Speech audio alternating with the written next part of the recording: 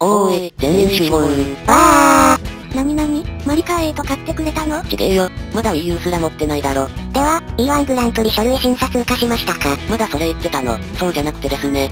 お土産もらっちゃいました。食い物じゃなきゃ興味なし。大丈夫ですよ。食べ物ですから。おー、マジか。お土産くれた人グッジョブ。ま、マスターが、ファ以外のものに餌付けされようとしている。ペットみたいにいるなこのお土産も私のおかげですよ。私に感謝しなさい。あーそうで、お土産何？もっと私を敬いなさいよ。龍崎様。よくやった。えらい上から目線だな。で、もらったお土産はこれです。赤福です。どうやら伊勢神宮に行ったみたいですね。おー、赤福か？赤福って何？お餅みたいな感じかな。確か昔、製造日の偽装がありましたね。もうそこ触れるの勘弁してあげて。しかし、そんなことがあってからなのか、赤福餅の消費期限が半端ないんですよ。何が半端ないんですか？これを見てくれ。製造から2日で消費期限って。早っ。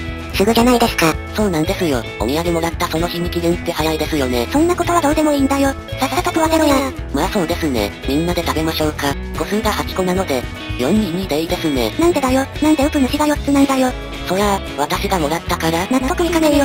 ウプ主は大人なんだから我慢しなさいよ。お前も成人してんだろが。中身は子供ですがね。私は大食いなんだからもっとちょうだいよ。